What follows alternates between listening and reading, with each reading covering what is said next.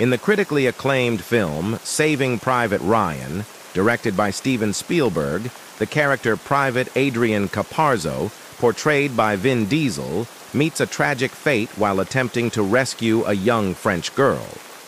This particular scene stands out for its intense portrayal of the harsh realities of war, emphasizing the suddenness and brutality of combat.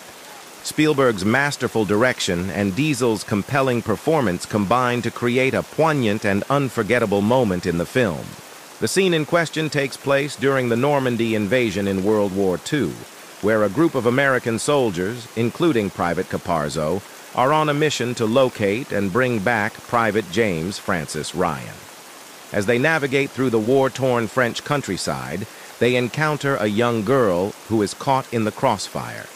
Driven by his compassion and sense of duty, Caparzo decides to intervene and save her from imminent danger. As Caparzo ventures towards the girl, the tension in the scene rises exponentially.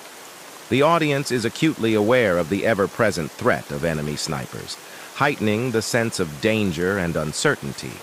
Spielberg's use of cinematography, sound design, and editing techniques further intensify the scene, immersing the viewers in the chaos and confusion of the battlefield. Just as Caparzo reaches the girl and attempts to shield her from harm, a German sniper's bullet abruptly pierces the air, finding its mark in Caparzo's chest. The suddenness and brutality of his demise shock both the characters on screen and the audience. Diesel's portrayal of Caparzo's final moments is raw and emotive, capturing the agony and desperation of a soldier fighting for a cause greater than himself. This scene serves as a poignant reminder of the sacrifices made by soldiers during wartime. It highlights the unpredictable nature of combat, where even the noblest of intentions can be met with tragic consequences.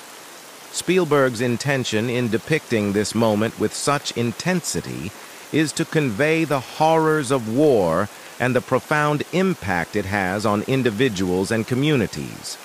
In conclusion, the scene in Saving Private Ryan, where Private Adrian Caparzo, played by Vin Diesel, is shot while attempting to save a young French girl, is a masterfully crafted portrayal of the harsh realities of war through Spielberg's direction and Diesel's performance. The audience is confronted with the suddenness and brutality of combat, leaving a lasting impression of the sacrifices made by soldiers in the pursuit of peace.